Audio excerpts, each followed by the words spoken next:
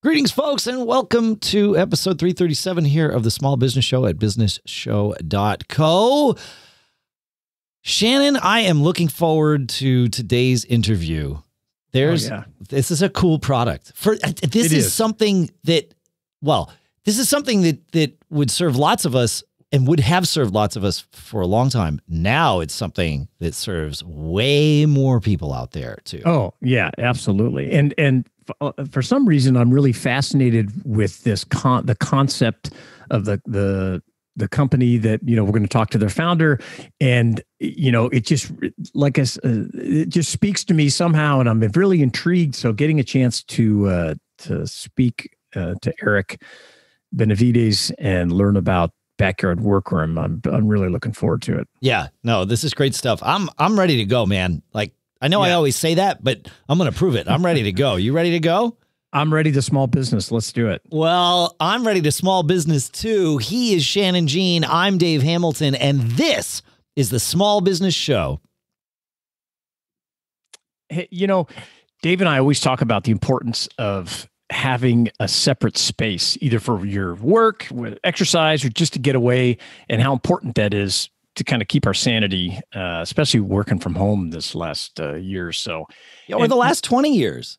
Yeah, there you For- go. for For, me, it's only been a few. Yeah, for me, it's only been a few years, but I really have come. I, I was just talking to our guest before we got started. How important it is for me to be able to leave Yes. the house and you know walk up the stairs climb the back of the hill behind my house and have this this uh, Yeah. space to do it and and I know you have a I've uh, had I've had both. I've had an office in my in my house proper, and then and then the separate space, which is what I have now. And it's important to have a separate a space that is for work, but having that that that physical distance from the place where I live, even if it's only you know a hundred feet, it Yeah. makes it, all the difference in the world because I can truly leave, well, sort of leave work behind. I still bring my phone with me. So Sure. I fail all the time at that. But, you know, it, having that separate space, it, it allows me to be in a, to change mindsets very quickly, which is Ah, good. Yeah, that's that's a good point. Change mindset. So today in the show, we're we're getting to talk with Eric Benavides, founder and CEO of Backyard Workroom. Uh, this company builds and they install structures. Only takes a few weeks, uh, and you can get, you know get the space you need in your backyard, side yard, wherever it is. Eric, thank you much. Uh, thank you so much for coming on the show. Uh, gentlemen, I uh, my pleasure. Thanks for the invitation. I'm glad to be here. Yeah, I'm really excited to learn about this stuff. Um, like I said, I'm kind of a nerd about it. So let's talk about your background first. You were a contractor, I think, in the oil and gas industry, and then a home builder before starting Backyard Workroom. Talk about h- how your skills, you know, brought you to this space and how you made the shift from uh, what you're doing before into building these prefabricated small spaces. Well, actually, it was a flip. I've been a home builder in the Oh. construction business in Dallas Fort Worth since uh, '83, and about 22 years ago, started my own business and was doing custom homes throughout DFW and you know high density type custom homes in downtown Dallas.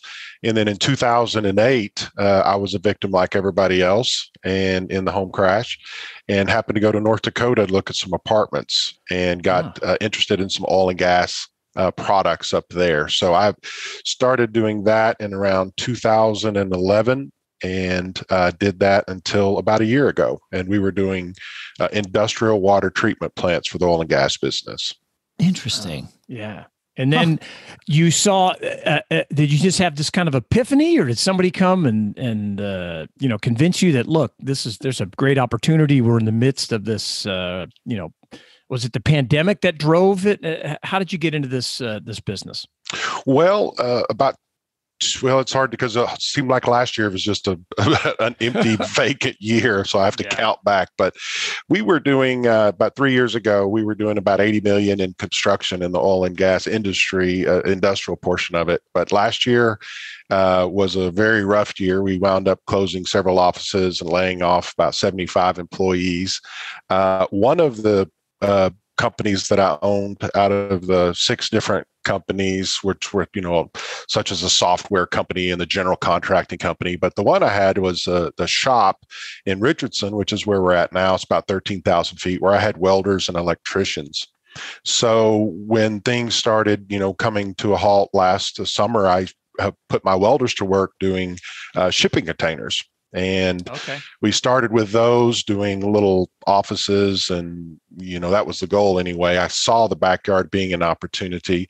We were doing um, greenhouses and offices and workout rooms, but it was very difficult. The shipping container market was a little harder to get into backyards and obviously very heavy and and uh, but we had had welders here that's what we had done before so it all really started from uh, converting shipping containers and then from there i started combining my manufacturing and home building uh, experience into creating uh, the backyard workrooms. And that's when that was born in the fall. And then I saw some opportunities, and that's when I applied for some patents and started really, you know, developing the branding and franchising and things like that. And we've we've steadily grown from that. But I would say we really started in January of this year uh, selling. Yeah, I, what I love about th- that story is it's just such a typical, you know, business owner entrepreneur mentality. It's like, okay, how how can I keep all my people working? Right? What skills do they have? How can we apply them in doing something else yeah. if one thing slows down? And it's so commendable that that's just a natural thing to start thinking about. Uh, thank you, and that was exactly the, the, the case. I, you know, had laid off a lot of people, but I had my roughly 15 guys in the shop who'd been with me and was welders and electricians and construction guys, and it was really important for me to, you know, keep them going through the pandemic. And, you know, that's what we did. We all you know hunkered down and did what we needed to do and and here we are today but that was the main cause is to keep everybody uh, employed and you know kids fed. I've had thousands of employees in my career and that's very important to me and always has been. Yeah. you know I, I have said on this show and it, it, i'm still trying to figure out the right way to say this uh, is that being an entrepreneur is a blue collar job. And by that i mean you got to be willing to do whatever it takes no matter what in your company to bring things forward right? And and what you just said really perhaps says it better than than, than i can that you know you had this business and you you wanted to keep it moving forward. You needed to keep it moving forward. You owed it to your people to keep it moving forward and you figured out a way. And it was a little different than what you were doing but it leveraged what you had and and forward you went. You created a cool thing too by the way but you know it, interesting that the catalyst wasn't hey here's a cool thing we can create. It's a out of necessity what can we create to serve this market that we need we know we need to serve so that we can stay in business. And I, I like that. I like that drive. Well, thank you. Yeah, that's yeah. great. So uh, I want to talk about the this design. It, is your background did that allow you to kind of figure out how to put this thing together so this modular thing and then you know eventually take it to you know getting this patent pending uh, t- talk us through that process if you will especially the patent part. Uh, you know i've looked at a lot of these companies selling you know different kinds of structures like shipping container thing you mentioned is right up uh, my alley. I love that concept but it is its own animal. Uh, how did you get to the point where you built this and then went out and you know filed the patent uh, stuff for it? Well it really became uh, process of elimination or you know the necessity of uh, what is it? Necessity is the mother of invention if you will.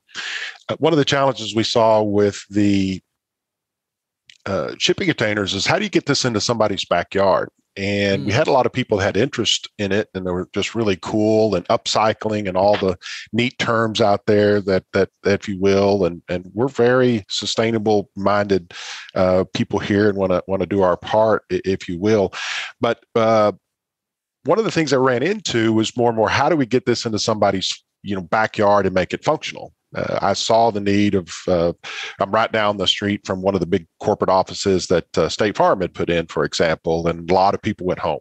So where do those four thousand people go, and and how many are going to go back? And I, I felt there would be a, in the long run, a, a, a long, a, a large portion, excuse me, a large portion of people that that would stay home, irrelevant when the pandemic finally calmed down, which is what we're seeing here, especially in in Texas. So I decided that I'd have some rules. Uh, I'd wanted to be able to get it into somebody's backyard with a four man crew. And everything that we design from the steel foundation to the roof to the wall panels, uh, everything has to be carried by a four man crew and had to be assembled by a four man crew by hand.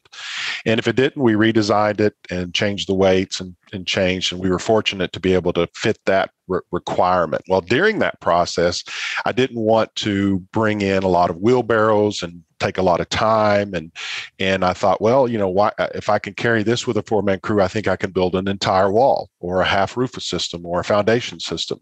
Well, that also created some needs for you know not being able to use concrete, so we use the steel foundation, and we have some adjustable footings that go on there. And the way we band the the pieces together with some steel combination of steel and and um, you know the pieces that we use to, hold it together to give it some structure.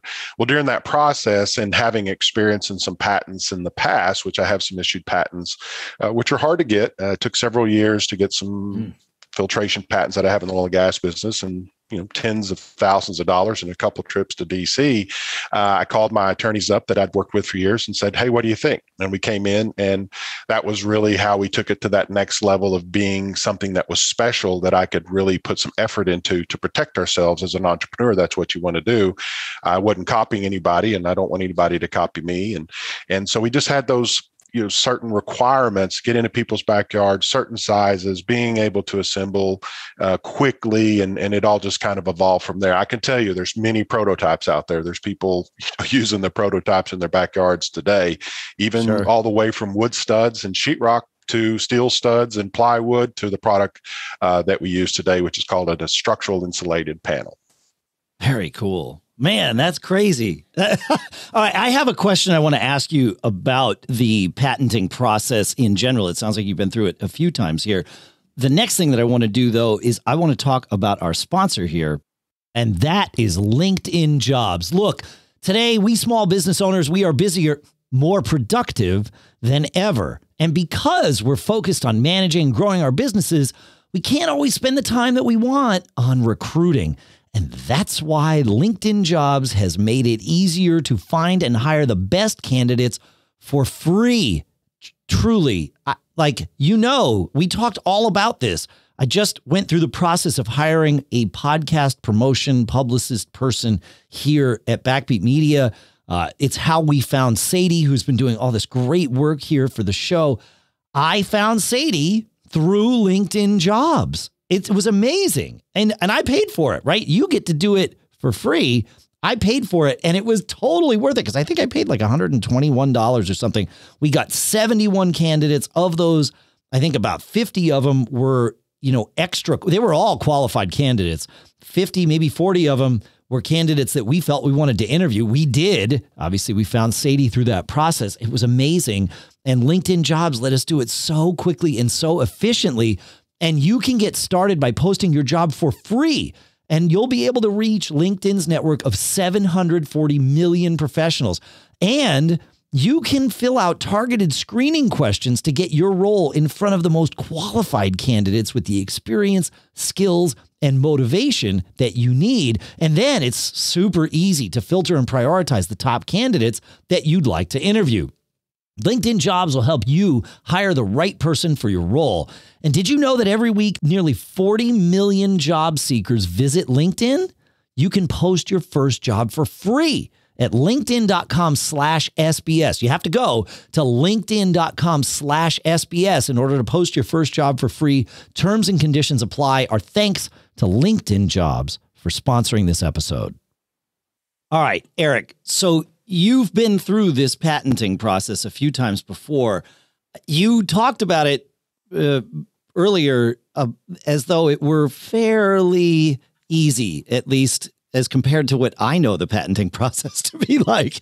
And you talked about it like you had a an assumption of getting the patent approved, which I've also learned the hard way is not always the case. Can you talk a little bit about perhaps some of your prior patents. Obviously, this one's pending, and you know there's not a whole lot to talk about with the approvals of it. But you talk about the process so people know what they're getting themselves into when they decide that they do have something that's worth taking down this path. Well, sure, uh, and I'll speak frankly as a as a business owner in the real world, if you will. The patents have uh, uh, basically there's two stages of a patent. Once you go after a patent, of course, you want to get the patent. But there's lots of modifications. Uh, there's lots of art and other what other people have done. One of the things in one of my patents they were comparing me to this is a water filtration device, was a laundry machine uh, that actually washed clothes. It has to do with filtration, you know, in the 60s. So uh, you have to come in and argue why this is different uh, than that. Yeah. And over time, that happened to be, uh, I removed all of the questions that the uh, patent processor at, at, at, the United States uh, Post uh, Patent Office, USPTO, I think is how you say it, and uh, addressed all of his issues and eventually got the patent. There's another part of the patent which is called the provisional patent, well, where I want to I want to I want to come to the provisional patent, but I want to talk about this process here because th- this is an interesting thing, and and your patent attorneys folks will take you through this. But what you just described, where you start with something and then the patent inspector it's amazing how they can dig and find things that are similar to what you've put in there. like they are masters at this, right? But they, you know, they find all the little things that other people have patented. And so you you start big and then you get very specific by like you said, removing all of those things so that what you are left with is unique, at least in their eyes, to you. And then they'll grant you that patent, hopefully, uh, in the end. But that's it's that's an interesting part of the process to to think, oh, I've got this one little thing. No, maybe not, but keep going. Bullheaded persistence can win the day. That's exactly right. We we work, and I, I, commend those guys. Imagine, you know, I wasn't, you know, I hate to t- use the term expert. I think a, a doctor or an attorney is somebody who's studied as long as they have, but there's a certain amount of expertise when you're creating a patent. But it's amazing that those guys uh, up there uh, can actually you know understand. They're dealing with all different kinds yeah. of, of patents to understand and have the same language about pressures and vacuums and levels and monitoring devices was was i was very impressed with their overall uh, ability to to see things not only yeah, what i'm doing but to go look your way. Yeah they see things your way. I i, I never I, I felt I have this. I had the same experience when we went through a failed patent process, uh, but it was you know it was like wow, you really understand what we're doing here. I, have had a hard time explaining this to my business partners. like, exactly. Yeah. Exactly. Yeah. Fascinating. Fascinating. Yes. So talk about this provisional patent. That yeah, that's interesting. So the provisional patent is uh, is another step in the patents where when you file a patent, you're given a and this is true for everybody, not just me. Uh, when you're given a patent, the patent is good for 20 years from the day that you apply, and there's there's a little caveats in there, but this is general information. But the uh, the provisional patent is where none of the information that you put in the patent is available for anybody else to see. And so what what it does is it protects you for roughly 18 months before anybody can see it whether you get the patent approved or not. So what it does is protects you with what might, may or may not be in the patent to keep other people from copying you because if they did copy something that you did and it does wind up being in your patent then you that they risk being infringing or you know losing that technology or you know that would be something that wouldn't be good for them. So we have a certain window to keep keep things quiet, if you will. We're only mm. into month six out of the 18 months. So sure. it's still a protection of some of the things that we do. So again, it's not a pure patent. That's why people say patent pending. But what it does is try, try to keep copycats, if you will, to come in and really start to just you know change one letter or change one way you do something and say this is theirs uh, this is theirs. They don't know what's in ours yet so it, it is a protection device uh, that is great. And uh, hopefully in the next 18 months we will be able to get uh, actually some patent pending or some patents issued on uh, lots of different processes. This is just not one uh, patent. This is some processes some trade secrets. There's you know trademarks a lot of different things that go along with just the patent. That's not not tied to it, but the overall preservation of your product. Hopefully that answered your question.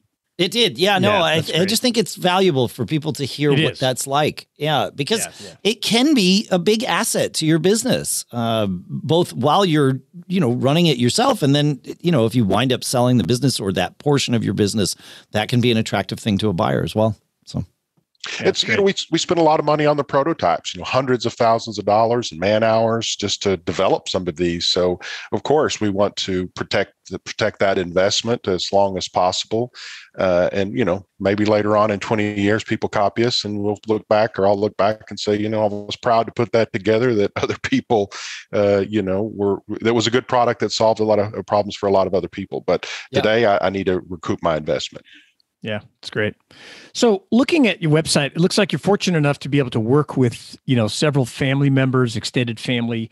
I know many of our listeners work with spouses, siblings, or you know, their kids. How has working with family helped your business? And uh, the sensitive question, you know, any unique challenges or or systems you have to put in place when you uh, you know you're you're working with uh, with family members? yeah, it's got some some challenges to it. Uh, you know, all my sons are millennials, so they were born with uh, computers and Google for all the information. Uh, but no, it's been it, has been great. Uh, my wife was staying at home for the first uh, raising the boys. We homeschooled our sons, uh, so that was you know one of the commitments that that we both made. she came on board about five years ago, and the one of the benefits is is you know it's exactly having someone you can trust. You know, knowing that sure. you know somebody who's paying the bills and and watching those things uh, that is there to watch your back uh, especially when you get larger companies. You know, over 100 employees and, four states is, is a pretty substantial uh, company for really anyone. But it was a unique uh, informa- uh, education for myself and my kids. They got to learn what dad's really like after, you know, being uh, away those years and seeing what I was doing and coming and being a part of it. And uh, are there challenges? Absolutely. I think the one thing that we you know anybody that does this as and, and it's tough for an entrepreneur. I can tell you that my brain works differently than than a lot of people and ha- trying to shut it off if you will. Uh, welcome the, to the club. Exactly. It's hard. It's just difficult. yeah, yeah. so you know it's the at five o'clock you just got to stop. And uh, that's really the the thing that we strive for is just you know i can become dad again not boss. Uh, and uh, you know my kids they worked hard when they were young. They didn't get allowance. They had to mow the grass or rent houses and and worked at the pizza place. And you know they they pulled their they pulled their weight. So i, I definitely taught them how to fish. I did i didn't give them fish. Yeah that's good. Great experience for them i'm sure. Uh and so if if i'm correct you're primarily in the dallas fort worth area is that correct the new business, yes, we are yeah, based in uh, Dallas Fort Worth. We yeah. just sold a distributorship for Austin. It was getting oh nice. way too many uh, leads and products down there for us to manage. Um, but yes, we're in the Dallas Fort Worth is market. And is are you planning on like you talk about expanding a little bit? You know, I noticed uh, on one of your uh, questions on your FAQ page there was a mention of franchise or anything like that. Is is your ultimate plan to kind of keep spreading out and to, to based on demand? That's that's exactly right. In fact, we the reason you don't see it anymore is we had such a demand for franchising that I needed to to tap the brakes a little bit and get my infrastructure in the construction process and some of the techniques and the staff uh, to be able to handle the additional work uh, that the franchises were bringing. The West Coast is was we were getting a lot of interest there, uh, but our franchises were only being marketed in Texas and Oklahoma, uh, but we were getting all the way from North Carolina to Jacksonville to Seattle, and we had to tap the brakes on a little bit. Uh, from there, we've got our 13,000 square foot shop, but we're just signed a lease for our next shop, which will be 20,000 square feet, and hopefully will be moved in in the next two weeks, which will give us some breathing room on being able to take care of what we have, and then from there we'll start to you know go back to franchising again. But I didn't want to get in here and number one work myself to death trying to keep up with everything and then do a bad job. For a lot of people, we we stopped and paused a little bit, but we're almost there, ready Smart. to get back into it again. That's great. Yeah, I can imagine, and that that's a really uh, important concept is when to kind of put, like you mentioned, you know, put, tap the brakes a bit to get control of things. And did you have you had such demand that you've had to do that with actually selling the product as well? And you know keep the systems and the quality up and uh, especially i'm sure based on demand during the you know pandemic and things. Uh, have you have you had to do that too? Well yes we were uh, everybody buys everything you know this is not a plug for them it's just life it's a google search you know so yeah. we spend most of our uh, effort and time making sure that's correct so yes we've you know expanded different markets west texas lubbock uh, austin obviously houston and uh, oklahoma city at one time and we're doing google you know pay per clicks in those markets. And now at this point in time, just to keep up with the the factory, to keep up with demand, we just shrunk down to Dallas Fort Worth, and then found somebody to do the uh, Austin market for us as well. Because it's it's the we're you know we we try to be just the construction manufacturing facility but there's that you know meeting with people the scheduling of the installation that one-on-one and that we wanted to make sure that everybody got you know through and the franchises was the best way for us to do that so we could concentrate on doing the, the buildings correctly yeah well, like Dave always tells us, you know, we're all in the customer service business. So uh, that second part you mentioned, you know, working with customers, getting everything, that, it's just so critically important that you you have enough infrastructure to manage that, right? Absolutely. I mean, without, especially these days, you know, you get a couple of bad reviews and you don't yeah. address the issues. You, you, it's very, you know, and rightfully so. A company should strive to be the best they could, or communicate with the, in our, our particular case, a homeowner, uh, to make sure that you know, hey, we may make a mistake, but we're going to get out there and we're going to fix it for you. Yeah. And and that's what it really matters to people, and that's what matters to us as well. Yeah, we're yeah. big fans of mistakes here. We uh, we are. But, I mean, we so much so that we wrote a book last year called "We Love Mistakes." But uh, but it's it's how you learn, right? We call them tuition so that we can justify paying for them. Mm-hmm. But um, but it's you know learn and and like you said, make your customers aware that no, like we're here, we're not going anywhere, and we're going to help you. So yeah, it's yeah. great. Any Eric, any uh, you know mistake you feel maybe you made early on in this process that that taught you an important lesson that you could share with our our listeners? In in my career or in this particular you pick you pick. I'm sure it'll be great advice. Whichever one that that you feel the most that's right. Yeah. uh, or the best story you know. do you want we, to we quantify like this in hundreds of thousands of dollars or just a bad night you're not you're not alone. That's a good Man. thing you're among friends here. We just having yes. a conversation. Yeah we've got jackets. Yeah yeah, yeah. yeah. the uh, the biggest mistake i believe for an entrepreneur is and myself and, and and i'm sure you guys could concur and probably wrote about it is the uh, you can't do it all yourself. And mm. especially when you're the entrepreneur the owner uh, we're fortunate we have no investors or partners. It's just uh, my wife and i the the the best way is to grow a company is with your employees. Well the only way is through your employees your staff your team uh, and you, to allow them to make mistakes and to know the right time and when to turn things over to them to where they can run with the ball in a certain amount of trust. So sometimes my mistakes have been as being the designer and the inventor, especially, is to, you know, hopefully have the right person in place, which we've worked very hard to create that culture and environment to have those people here.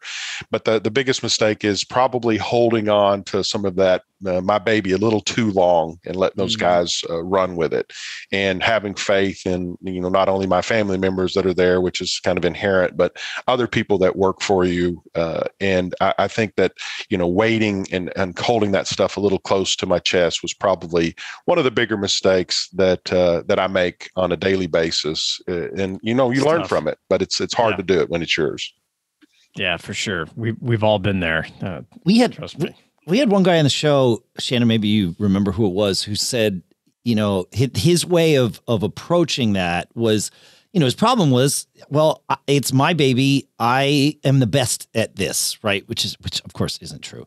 But you know, that there's days when you have to convince yourself of that, especially the days at the beginning when you are the only person there. You must therefore be the best. Uh, it, it's certainly the best within the company. And he said the way he reconciles that is he says, All I need is somebody that can be 80% as good as me. And at that point, I'm willing to turn it over to them and let go. And of course, what's often proven is that they're about 120 percent as good as him. Right. But but you need to like you don't know that until you yeah. like you said, you offer some trust into it. You you offer some faith into it. That was uh, Gary, Gary Von Meer from Tech Defenders. There it is. Gary yeah. Von Meer. Yeah. And so that 80% rule really stuck with me because I suffer the same the same fate as you there, uh, Eric, where you know, I don't want to give it up. It's like, okay, wait, if they can do it 80% as well, then that frees me up to do some other things and then, then, you know, and grow the business because that's the whole point of having employees, like you said. So, really yeah, cool. I like that 80%. That's great. Yeah. I hang and, my hat on that often. Yeah. Yeah. So I, I have one final question I want to ask you. One of the things I noticed, because again, I'm kind of this small space shed geek and I've looked at tons of different methods to use and I've got a project that I'm trying to, you know, use them on one of the things I I really was impressed with at Backyard Workroom on your website, just the whole concept. It just seems so simple, and like you've you've really simplified it down to just some basic uh, things, especially like, eh, for example, the configurator on your website where you can select design, this kind of thing. Definitely the most streamlined and simplified uh, concept that I've I've used.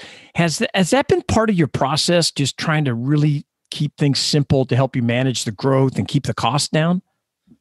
That's been the basis, really, of everything that we've done as a company in this particular product. How we get it into the backyard. How do we, you know, as of uh, today, we've we've trained our second uh, fireman uh, crew uh, these guys typically have small little you know roofing crews or handyman crews. So we use uh, firemen subcontractors to do the installation. They're used to ladders and carrying ah. things on their shoulders. So yeah, that simplicity is the has been the basis of everything that we've done in our relationship with Horton World Solutions. These structural insulated panels, which is you know we're a sustainable product. The only wood we have is the subfloor and trim around the windows. This is a, a foam structural product that they cut on a water jet and send to us and and it's all just pieces so it's a big lego kit so our buildings can go mm. from 10 by 10 and we can keep adding and go to um, 100 feet long and do 10 10 by 10s in a parking lot uh, which is one of the products we'll be rolling out for homeless and then all mm. the wiring in the back is all tied together with one big uh, channel for all the wires to go together and it's just a big giant kit so the simplicity has been the video that you see on side of us putting that building together that 8 by 15 or excuse me yeah. 10 by 15 building that was 33 minutes uh, wow. from the time that the guys walk into the screen until they they put the roof on. Now we haven't put the wood floors down or the window, no, excuse me, the lights in and tied in the electric, but 33 minutes uh, is a was is, and we've beaten that since. So yes, wow. simplicity's been has been the, uh, everything that we've done has been based off of that.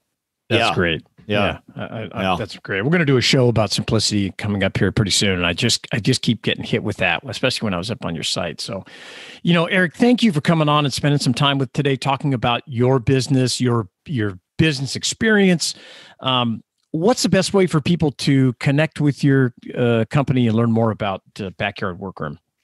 Just backyardworkroom.com. That's got everything on it. We got our connection, our uh, uh, contact pages on there and videos and pictures and lots of uh, we've got a lot of new product that came up. Our configurator uh, builders actually be up, to, up, updated with some new colors and but backyardworkroom.com is the best way to get a hold of us here and our team will be glad to help out in any way we can that's great. It's fascinating business, and I, I, really wish you much success. Come back sometime and you know update us on how things are going. Uh, especially that your comment there at the end on the homeless solution thing. Uh, uh, it's just a huge issue, uh, especially in my state that they're facing. I think that's such a great opportunity to solve a problem and build a build a great business. So, thank you again, Eric.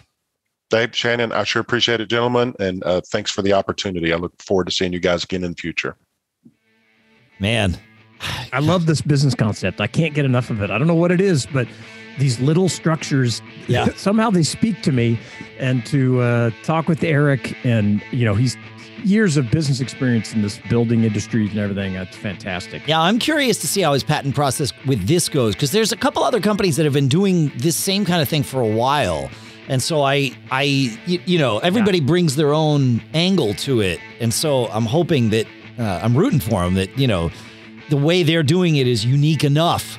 Yeah, that, it's it's you know, different. It I mean, I, yeah, yeah, with these panels they use and the foam and the the way the roof system works and how exactly. quickly it goes together, it's it's pretty unique. Pretty and uh, pretty amazing. Yeah. And and I go back to the beginning where he talked about the impetus for this, and and I've had this happen to me too. Is you have all this talent around you, and then one of your business you know units starts to slow down for whatever reason, and you think, okay, how can I put these people to work?